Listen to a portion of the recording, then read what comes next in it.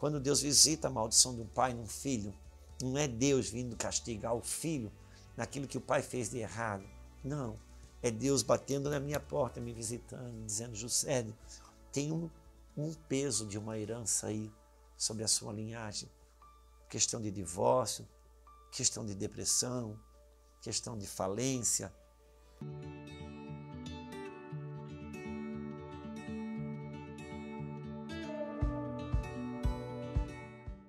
Olá, Deus abençoe sua vida, seu coração, seu espírito. É nós aqui mais uma vez no nosso Impartindo o Coração. Se você puder, já se inscreva se você não é inscrito no canal, coloque também acione o seu sininho, interaja com a gente aqui para propagar, propagar essa mensagem. Uma pergunta que acabaram de me fazer aqui, colocaram na mesa, como, entender é, essa questão de que Deus ele visita a maldição de um pai, é, a maldição do pai no filho até a terceira e a quarta geração. Bom, é muito importante a gente pensar é, sobre maldição hereditária, sobre heranças dentro de uma perspectiva, perspectiva divina, uh, como uma ajuda de Deus, como uma é, um caminho que Deus construiu para que a gente possa remover as iniquidades que pesam sobre a nossa linhagem. É como a dor, John. A dor de tão ruim, tão ruim, tão ruim, ela cumpre o seu papel. Porque a dor me para. A dor faz, me, me faz buscar o um médico. A dor é um grito do meu corpo dizendo para mim: tem algum desajuste. E por isso que pressão alta, por exemplo, é perigoso. Por quê? Porque ela não gera dor. Por que, que o câncer é tão nocivo? Porque quando ele apresenta algum tipo de dor, ele já está em estado avançado. A dor, ela é de tão ruim, ela cumpre o seu propósito. Então, a maldição, da mesma forma, é um grito divino dizendo: tem um desajuste, que está te roubando benefício, está te roubando saúde. Então, quando a Bíblia fala que Deus visita a maldição dos pais nos filhos, eu gosto da palavra visita. Porque a visita não é como um ladrão. Ela não arromba, ela não estoura a porta.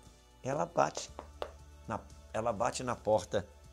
E aí só entra se você permitir. E como que é isso? Tem um texto na Bíblia, John, de, com, um, que Davi, reinando e governando, estava três anos faltando, não dava chuva, a lavoura não dava só comida, ele foi orar e Deus falou: Olha, foi uma, um, um, um, pecado grave que Saul, o rei que veio antes de você, cometeu. Ele matou os gibeonitas e os gibeonitas tinham feito aliança com Israel, eles não podiam ser mortos. Ali, o Davi podia ter perguntado para Saul: Ó oh Deus, o Davi podia ter perguntado para Deus: Deus, o Saul fez uma bobagem lá atrás, o outro rei, e agora o Senhor vem trazer essa situação para mim resolver. Por que, que o Senhor não tratou com ele? Deus estaria dizendo para Davi: Davi, eu não consegui encontrar no coração de Saul, no peito de Saul, não consegui encontrar um coração que pudesse se propor aos processos redentivos para isso eu, eu acredito que eu possa encontrar em você. É mais ou menos isso. Quando Deus visita a maldição de um pai num filho, não é Deus vindo castigar o filho naquilo que o pai fez de errado. Não. É Deus batendo na minha porta, me visitando, dizendo: José, tem um, um peso de uma herança aí sobre a sua linhagem. Questão de divórcio, questão de depressão, questão de falência, questão de é, sei lá, de quebra, sei lá do que, e vício. Ah, você não quer resolver isso, você não quer enterrar isso, sepultar isso. Mas por que eu, Senhor? Porque, meu filho, você tem uma revelação da cruz. Você é o único que conseguiria saber sepultar uma maldição, enterrar uma maldição.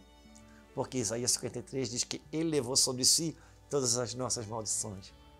Então era Deus dizendo: você não quer sepultar isso, isso não precisa mais estar na sua linhagem. Isso, eu lembro, John, que um dia quando a Lulu falou sobre o histórico que ela vinha, um histórico religioso, de fé que ela tinha antes de, desde a sua infância. E numa conversa com o pastor Cote, ele falou: olha, esse tipo de, de envolvimento espiritual traz muita morte precoce na, na, na família. E ela, na, na linhagem dela, de toda a parentela, todo ano morria alguém abaixo de 40 anos. De uma duas pessoas. Morria criança, morria jovem. E a Lu, eu lembro que ela pegou aquela palavra do pastor Corte, ela foi para a sala e ela passou um mês chorando na sala e orando por aquela situação. Ela entrou em lugares em Deus de oração, de intercessão, foi muito forte. Às vezes de madrugada ela estava ali. E foi interessante, cessou. Eu acho que isso já faz uns 10 anos. Não morreu mais ninguém. E interessante como ela foi lá cortar. Era, é por quê? Porque nós sabemos onde sepultar isso. Então, e a herança é, a gente fala muito em maldição hereditária, mas a gente também precisa aprender a resgatar a, aquilo que Deus entregou para a minha linhagem.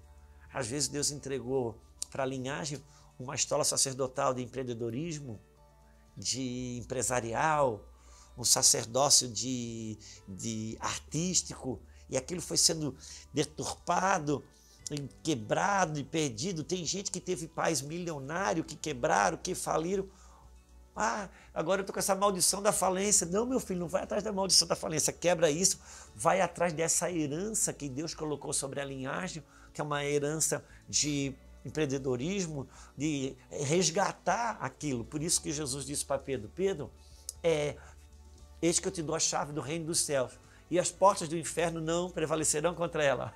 Se ele entregou a chave do reino e fala sobre as portas do, do inferno, a chave do reino abre o reino ou abre o inferno?